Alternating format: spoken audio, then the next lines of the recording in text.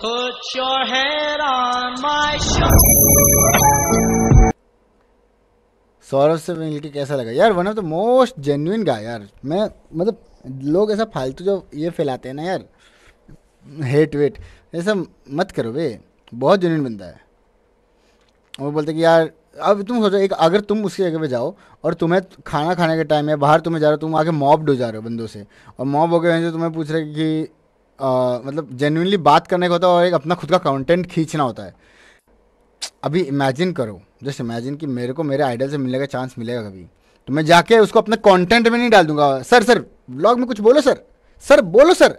आप इसीलिए तो पैदा हुआ कि आप मेरे व्लॉग में आओगे। मैं उससे जेन्यूनली उसको एक्सप्रेस करूँगा, मैं क्या फील करता हूँ।